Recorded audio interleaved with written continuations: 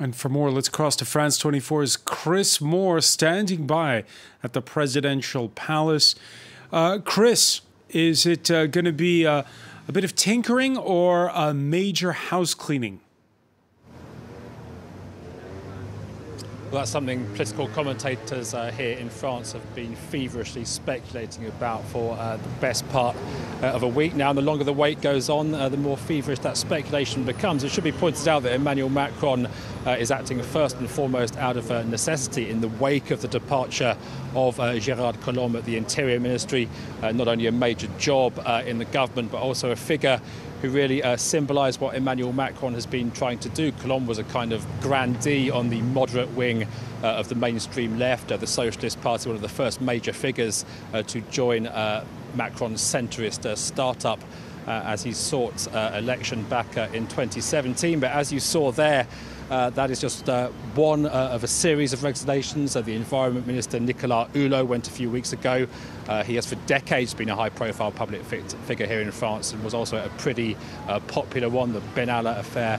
Uh, as you saw, and uh, Macron's approval rating standing now at just over 30% uh, compared to over 60% in the wake of his election. Something commentators have been speculating about and something which Macron's MPs have perhaps been trying to prepare the ground for is that this is time for a real reboot of his administration, which has fallen upon pretty tough times uh, since it came back from the summer holidays. And he's, he's granted a couple of interviews uh, since uh, the end of those holidays uh, promising that reboot. Any sign of it?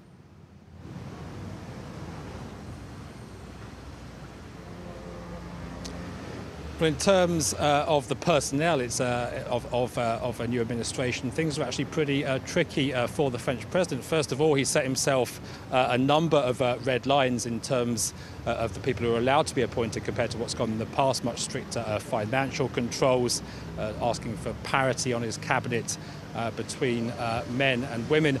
At the same time, though Emmanuel Macron himself very much comes from the, the, establishment, if you like, his party uh, is uh, relatively new. There are not many experienced politicians in there, not many big hitters.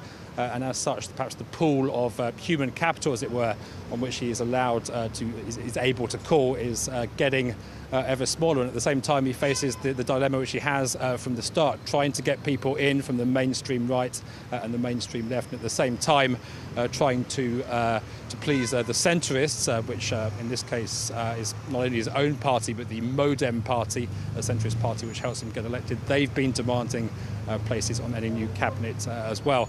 just one final point, we simply don't know how many new ministers uh, we are going to see. That remains very much uh, up in the air.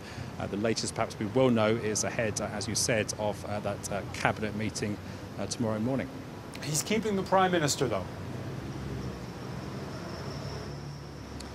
That's right. Uh, Edouard Philippe remains uh, uh, in his job. He was here at the Elysee Palace this morning. He then went off to to his own office, followed by uh, the uh, French Parliament. In terms of procedure, uh, there had been some suggestion that if we were looking at a big uh, reworking of the French government, that would involve uh, Philippe symbolically uh, standing down, then being reappointed. That hasn't happened. and as I said, um, we were talking just there about Gérard Collomb. Edouard Philippe is also a, a key figure for Emmanuel Macron.